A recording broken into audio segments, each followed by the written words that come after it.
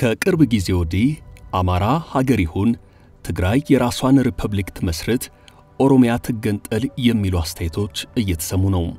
በቅርብ ጊዜ እንኳን የኦሮሞ ጥናት ማኅበር የኦሮሞ ምሁራን በተሰባሰቡበት መድረክ ኦሮሞ ሪፐብሊክ ይመስርት ሲሉ አንድ ምሁር የራሳቸውን ጥናት አቅርበዋል። ሌላኛው አምሳያቸው ደግሞ ኦሮሞ በብዛቱ የዩክሬንን ሕዝብ ያክላል፣ በቆዳ ስፋቱ ደግሞ ጀርመንን ስለሚያክል ሀገር ለመሆን ምንም አያንሰውም ብለዋል። እነ አቶ በቀለ ገርባ በተሳተፉበት በዚህ 36ኛው የኦሮሞ ጥናት ማኅበር በዋነኝነት ምክክር ያደረጉት የራስን ዕድል በራስ መወሰን ያለውን መልካም ዕድልና ተግዳሮቱ በሚል ርዕስ ዙሪያ ነው። በዚህ መድረክ ስለምን መገንጠል የምክክሩ ዓላማ ሆነ ሲሉ ብዙዎች ጠይቀዋል። በዚህ መድረክ ላይ የአሜሪካ ባለሥልጣናትና ምሁራን ጭምር መገኘታቸውን ልብ ይለዋል። ልክ የኦሮሞ ሪፐብሊክ ይመስረት እንደሚባለው ሁሉ የትግራይ ምሁራንም የገነባናት ኢትዮጵያ አድምታናለች፣ አስርባናለች፣ አግልላናለች፣ ትግራይ ሪፐብሊክ ይመስረት እያሉ ነው። በሌላ በኩል ደግሞ የአማራ ልሂቃን አማራ በገነባት ኢትዮጵያ እየታረደ እየተፈናቀለ ንብረቱ እየተዘረፈ መኖር የለበትም፣ አማራ ሁሌም ኢትዮጵያ ኢትዮጵያ እያለ የመሥዋዕት በግ መሆኑ ሊያበቃ ይገባል ሲሉ ክልሉ የራሱን ሪፐብሊክ እንዲመሰርቱ የጠየቁም አሉ። ላለፉት ዘመናት ሦስቱ ብሔሮች በዋነኝነት የኢትዮጵያን ፖለቲካ ሲዘውሩት ቆይተዋል። አሁን ደግሞ በሴራ በተንኮል በጥላቻና እኔ እሻላለሁ በሚል እሳቤ ከእነዚህ ብሔር የተውጣጡ ልሂቃንና ፖለቲካ አዋቂ ነን ባዮች የሀገር ምስረታ ምክረ ሐሳብ እያቀረቡ ነው። ይህ ደግሞ ለኢትዮጵያ አስጊ ነው። የብሔርን ቁርሾ የብሔርን ጠብ በሰፊው የሰሙት አሜሪካውያን ታዲያ ከብሔር ፖለቲከኞች ጋር ጥብቅ ግንኙነት ፈጥረው ኢትዮጵያን ለመበታተንና ለመገነጣጠል እየሰሩ ነው። ለኢትዮጵያ ጠላት የሆኑ አሜሪካውያን በሚስጥራዊ ቡድናቸው ከመቼውም ጊዜ በላይ ይህን አሰፍስፈው እየጠበቁት እንደሚገኙ ዶክተር ብርሃኑ ቡልቻ አጋልጠዋል። ዶክተር ብርሃኑ በአሜሪካ የሚኖሩ ለሀገራቸው ኢትዮጵያ የዲፕሎማሲ ሥራን የሚሰሩ ሀገር ወዳድ ሰው ናቸው። እርሳቸው ኢትዮጵያን እናስቀጥል የሚሉ አሜሪካውያን ባለሥልጣናት እንዳሉ ሁሉ ኢትዮጵያ ብትበታተን ደስታቸው እንደሆነ ሰሞኑን ባጋለጡት ምስጢር አመልክተዋል። ኢትዮጵያን ለመበተን የሚሠራው ቡድንም ከትግራይ ከኦሮሞና ከአማራ community ወይንም ማኅበረሰብ ጋር በተናጠል ምክክር እያደረገ ዓላማውን ለማስፈጸም እየሠራ ነው ሲሉ አጋልጠዋል። ዶክተር ብርሃኑ ቡልቻ ምን እንደተናገሩ፣ ሰሞንኛው የኢትዮጵያ ጂኦፖለቲካ አካሄድ ምን እንደሚመስል፣ ለኢትዮጵያውያንስ ምን ምክር እንዳስተላለፉ ቀጥለን እንመለከታለን።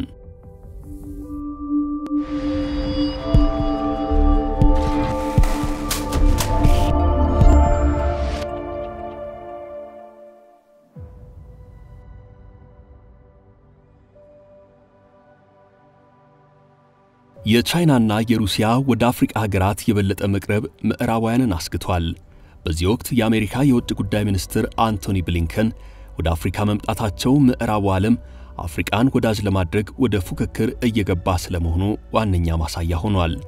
ከሁሉም በተለየ የአፍሪቃ ዲፕሎማሲ የስበት ማዕከል በምትባለው ኢትዮጵያ የሀያላኑ አጀንዳ የጂኦፖለቲካ ፉክክር አይሎ እየታየ ነው።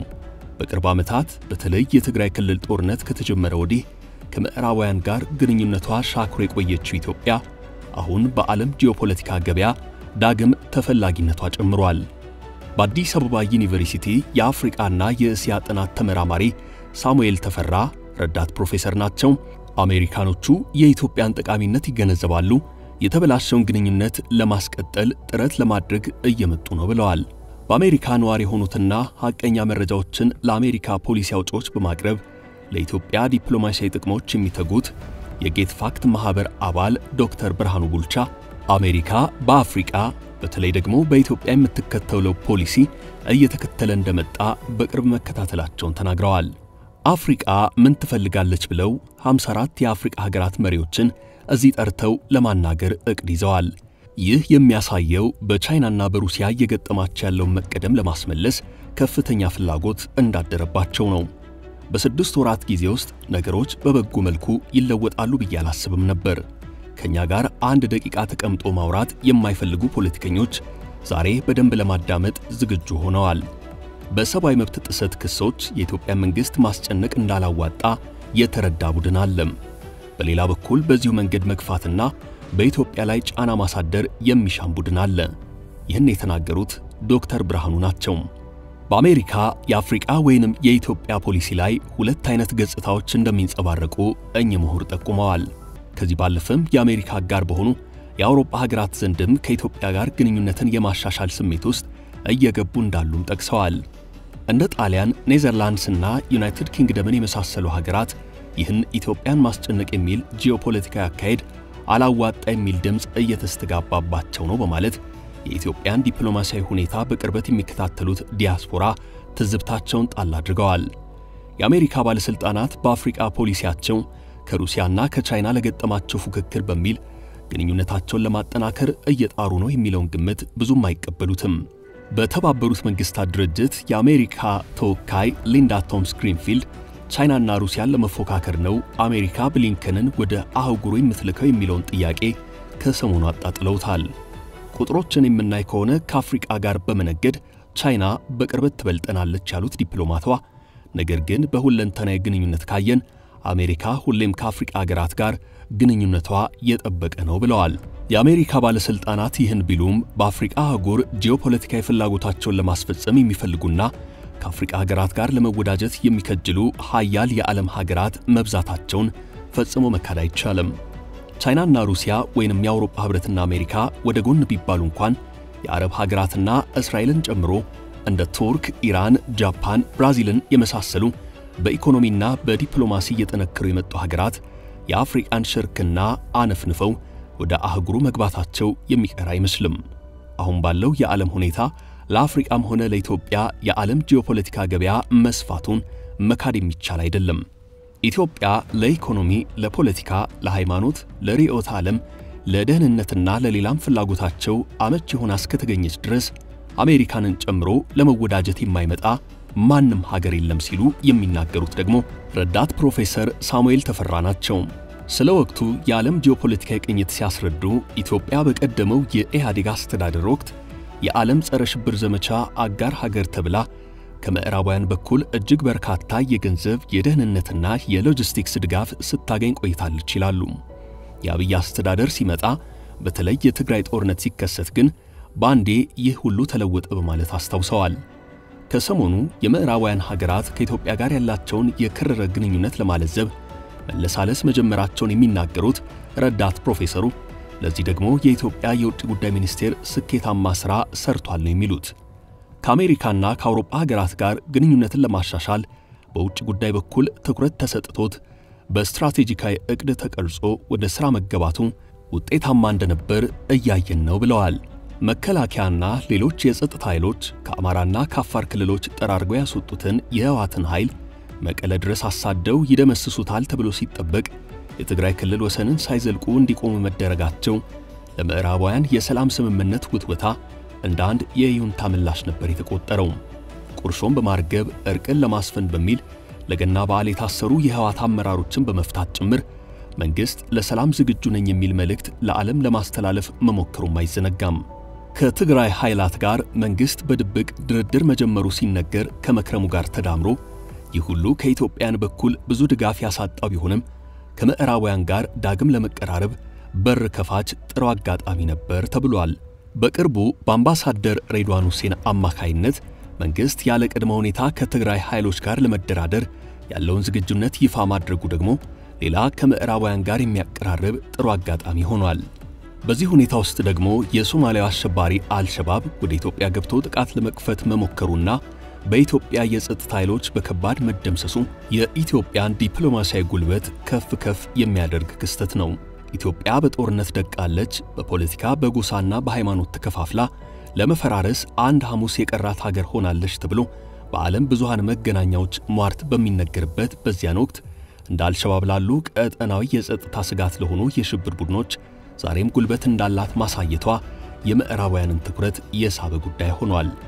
ኢትዮጵያ በመፈራረስ አፋፍ ላይ ሆናለች ቢባልም በዓለም አቀፍ ጸጥታና ደህንነት ጂኦስትራቴጂካዊ ተፈላጊነቷ እየጨመረ መጥቷል። ድንበር ጥሶ የገባውን የአልሸባብ ኃይል ከነአመራሮቹ በመደምሰስ ማሳየት መቻሏን የሚናገሩ በርካቶች ናቸው። ይህን ሐሳብ የሚጋሩት በአሜሪካ ያለውን ፖለቲካ አተያይ በቅርበት የሚከታተሉት ዶክተር ብርሃኑ ቡልቻ በአሜሪካ ፖሊሲ አውጪዎች ዘንድ ኢትዮጵያ አሁንም ቢሆን ትጠቅመናለች የሚለው እሳቤ እንዳለ መሆኑን ያስረዳሉ። ይሁን እንጂ ከዚህ በተቃራኒው ኢትዮጵያን ለተጨማሪ ስጋት የሚዳርግ አመለካከት መፈጠሩንም አብረው ያነሳሉ። ከኢትዮጵያ ጋር ግንኙነትን ማስተካከልና የኢትዮጵያን አንድነት ማጠናከር የሚደግፍ ወገን ተፈጥሯል። ቢሆንም ግን ኢትዮጵያን በመከፋፈል ለራሳቸውና ለአሜሪካ ጥቅም ለማዋል የሚጥሩ ኃይሎችም አሉ። ዶክተር ብርሃኑ እንዲህ በማለት በአሜሪካ ፖሊሲ አውጪዎች ዘንድ ያለውን ባለ ሁለት ገጽታ አተያይ በዝርዝር ያስረዳሉ።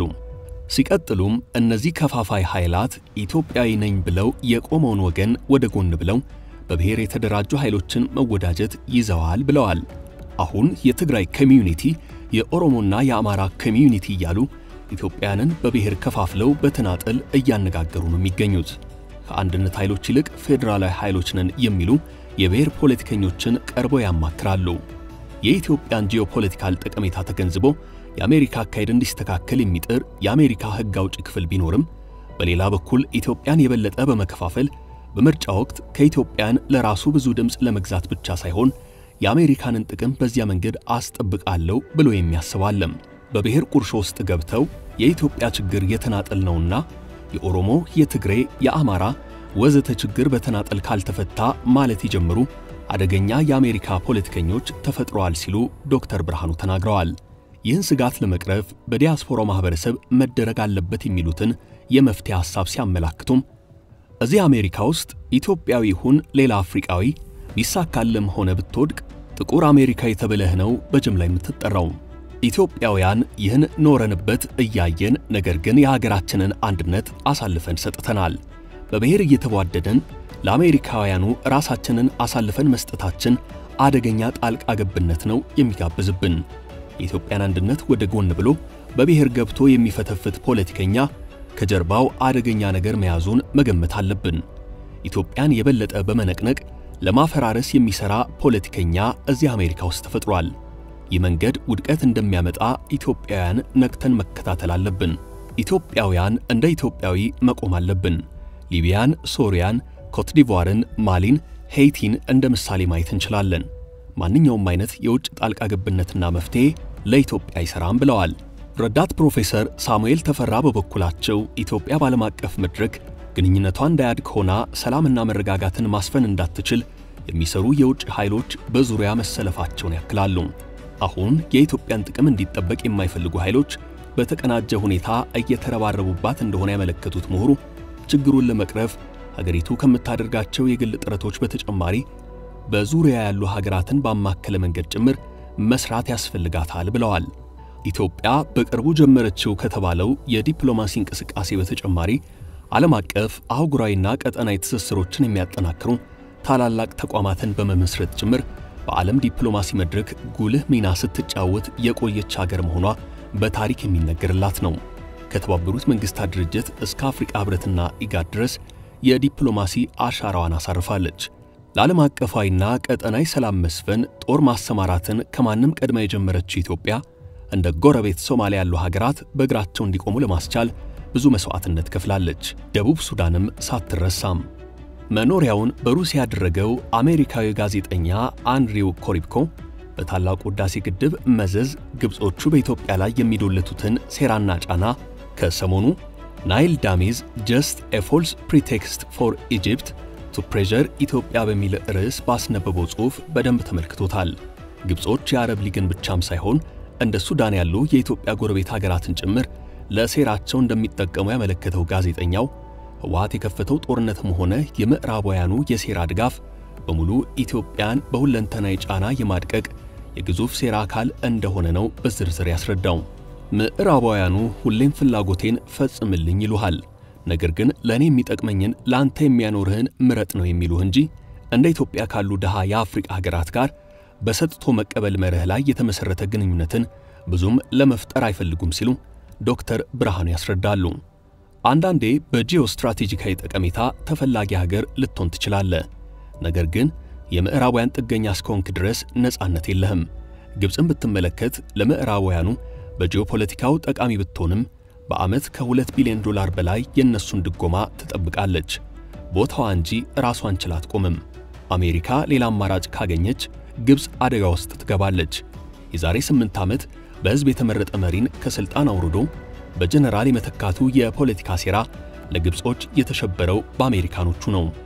በጂኦፖለቲካው ጠቃሚ ነኝ ማለት ብቻ በቂ እንዳልሆነ ከእነሱ መማር አለብን። የራስህን ዕድልና ጣፈንታ በራስህ መወሰን የምትችልበት ቦታ ላይ ካልተገኘ በስተቀር በጂኦፖለቲካው ጠቃሚ ነኝ ማለት ብቻውን አይበቃም በማለት ዶክተር ብርሃኑ ስለ ምዕራባውያኑ ፖለቲካ የታዘቡትን አስረድተዋል። እንደ ቻይናና ሩሲያ ያሉ የዲፕሎማሲ ግንኙነት አማራጮችን ብትጠቀም ከምዕራባውያን በኩል የሚመጣውን ጫና ይህ ብቻውን እንደማያቀለው ይነገራል።